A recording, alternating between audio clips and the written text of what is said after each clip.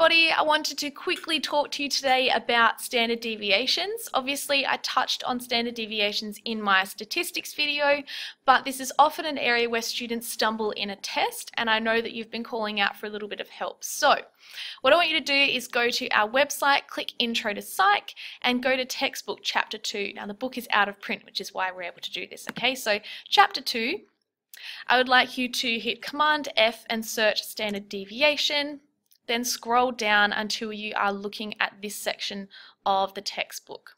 Okay, so pause here if you need to do that now. Now, my video, I talked about standard deviation being a measure of variability. So it's about how varied the scores are in a particular data set. This textbook offers a really great explanation, so I really recommend that you pause this and read that explanation now. Um, but what we're going to talk about is the scenario question on the right hand side here, more specifically question two.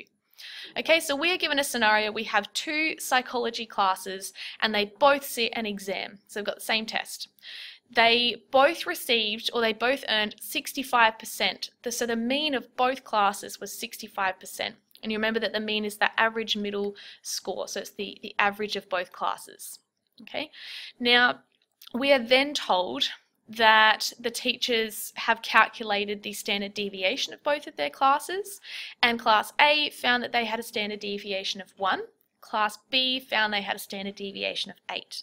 Now, an important note here is that in Year 12 psychology, you will never be given a single standard deviation score. Okay, that's not in the scope of our, our course. You will always be given two and you'll asked you'll be asked to compare the two. So you're always talking about them in comparison in terms of lower or higher, never low or high. You'll never be asked is 1 low, is 20 high? Okay, it's always in comparison, which is awesome. So, your question here is on the basis of this additional information, what conclusions might the teachers now draw about the, the knowledge of students in each psychology class? Explain your answer. Okay, so to think about this scenario, both teachers have a mean of 65. Okay, they haven't done very well, but the teachers want more information. They then find that they have these differences in standard deviations. When we say it has a lower standard deviation, we mean that the scores are clustered more closely around the mean. And what this means in this scenario, if you have a mean of 65%, the scores in Class A, so student scores, are more clustered closely around 65%. So students are getting 60%, 62, 65, 70, 71. Okay, scores are really close around 65%, so the classes all performed pretty similarly. We then look at class B, and if we compare that, they have a higher standard deviation, which means that the scores are more widespread around the mean. Okay, so they might have students who get 50% or 49 maybe they've failed it's been really awful and you've also got um, 60% then you've got 65 maybe you've got 70 80 you might even have a student who gets 90% okay? The key is not to get caught up in specifics because we don't know what 8 really means. It's about the scores in class B are more widespread than they are in class A Okay. Now, when it comes to answering this question in a test, the best way is to think of a key phrase that you can repeat in a test. Okay. And when I say that, I don't mean always give the same answer. I mean be prepared with a phrase and then be prepared to apply that to the scenario. And what you've been asked here is to talk specifically about their test scores, which you've been given, and to talk about what the teachers might now draw, so what conclusions the teachers might draw about the knowledge of students in each psychology class. So if you are just talking about scores and numbers, you are not going to get full marks. You have to talk about the teachers, the students, and their knowledge of psychology. So pause the video here, have a go at answering that question, and then play again when you're ready to hear my answer. Okay, so let's go through two possible answers that you could give. So option number one, Class A scores were clustered more closely around the mean of 65% to compare to Class B's.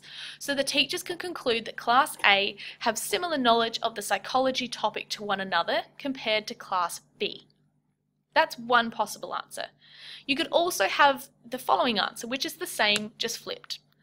Class B scores were more widespread around the mean of 65% compared to Class A's. So teachers can conclude that their psychology knowledge was more varied than Class A's. Now you'll note that in both of these answers, I've highlighted some key phrases, and this is the really important message that you have to take away from this video. You're talking about clustering of scores or heights or grades or ATARs around the mean. So here we've got Class A scores were clustered more closely around the mean, and of course this can be applied to any scenario, it might not always be percentages, compared to. If you forget to compare, you're probably not going to get full marks. You always have to compare to the other class. Okay, and I've also applied it very carefully here to the scenario.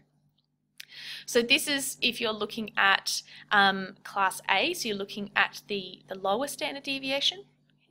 Here's if we're looking at the higher standard deviation, and so we're not talking about it clustering closely, we're talking about it being more widespread around the mean or from the mean.